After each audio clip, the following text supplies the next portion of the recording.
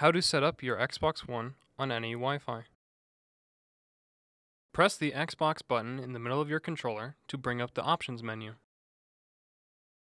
Then, navigate to your Xbox avatar. Select the settings icon denoted by the gear symbol.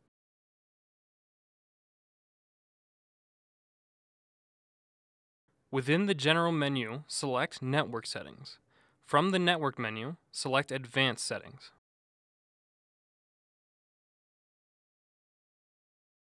Finally, find the listing for the wireless MAC address and copy it down. On a web browser, go to the following URL mydevices.nau.edu. Once there, sign in with your NAU credentials.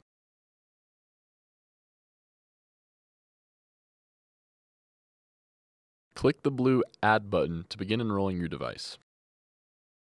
Fill out the form and include the following a name for the device and the MAC address. You can add a description if you'd like. For the name, avoid using special characters such as apostrophes. For the MAC address, avoid using dashes between characters.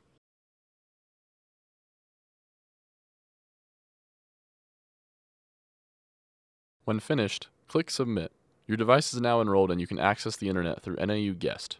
You may notice that the status of the device is listed as pending, but you can already connect the device.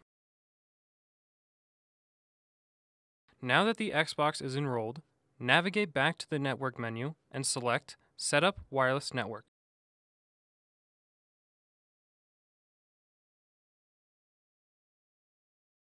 Now you can choose a network to connect to. Select NAU Guest.